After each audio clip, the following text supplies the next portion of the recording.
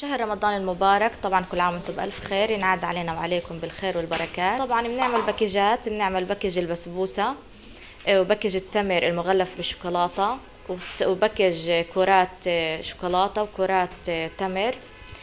وطبعا ال tart لا غنى عنه في في رمضان في المناسبات.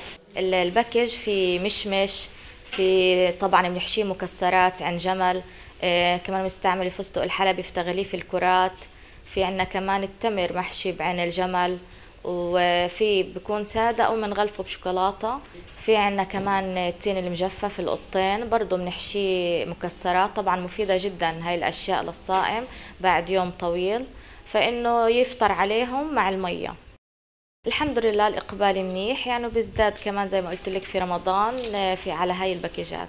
بشهر رمضان بتزداد الأيدي العاملة عشان آه، بنعمل الباكيجات فإنه بدنا أيدي عاملة عشان يعملوها.